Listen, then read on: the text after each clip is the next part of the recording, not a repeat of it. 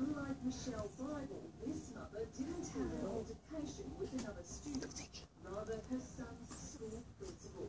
As a result, she's no longer allowed on school grounds. So she said, I if you don't leave now, I'll call place. And that's when I sort of laughed because I thought she was joking. Tammy Delacour Zig. press conference What's Zig doing? warned a Zig?